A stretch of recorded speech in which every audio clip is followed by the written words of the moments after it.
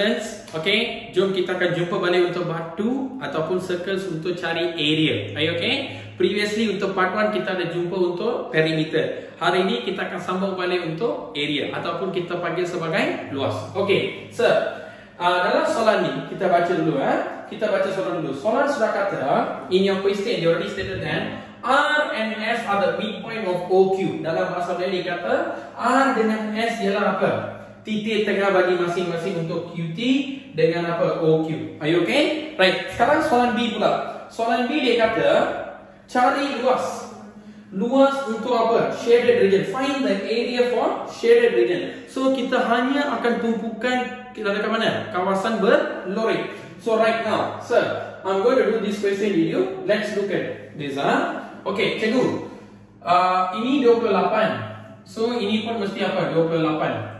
Kalau sini 28, ini pun mesti 28 Tapi dia sudah kata midpoint So sini 40, sini pun apa? 14 Sini 40, sini pun apa? 14 And previously kita ada jumpa Satu straight line is 180 Kalau dia kata sini 60 Kalau dia kata sini 30 Can we find the middle one or not? Yes Macam mana cikgu? 180 degree minus 60 degree minus 30 degree kita akan dapat 90 so kita boleh cakap tengah-tengah ini adalah apa? 90 now disebabkan soalan cakap kita nak cari area we only going to find the area am I right?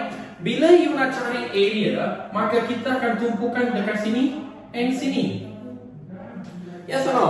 So formula apa yang kita guna? Formula number one, formula number two. Okay, yang dikenali sebagai let me write here. Okay, formula dia macam ni. Area of sector. Area of sector equals to angle at center over 360 darab dengan pi r square. Kalau length of arc ataupun panjang lengkung, kita akan guna 2 pi r. Yang ini pula pi r square. Okay, let's find this. ORS first. So kita nak cari ORS. Eh? ORS equals to angle dia berapa? 90. 90 over 360 darab dengan 22 over 7 darab dengan radius. My radius is what? 14. My radius is apa? 14. So kita akan guna 14 kuasa 2. So when you calculate, you akan dapat satu jawapan. Now, let me calculate for you. Saya akan kira untuk you. So, kita akan guna 90 over 360 close bracket darab bracket 22 per 7 darab dengan 14 square. Kita akan dapat berapa kelas? 154 cm square. So, kita sudah dapat 154 apa? cm square. Are you okay? Ini sudah. Kita ada lagi yang ni. Yang ni pula OUT. OUT equals to angle kita berapa kelas? 30.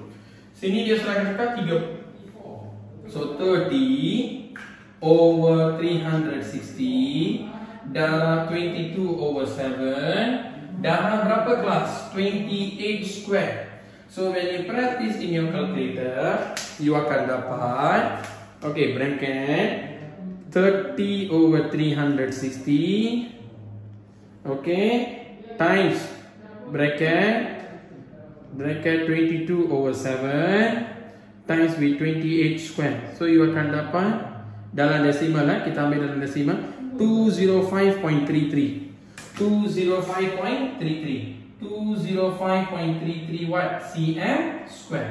Sekarang dia kata jumlah dia betul. Bila you nak cari jumlah jawapan ini dengan jawapan ini, apa kita kena buat kelas?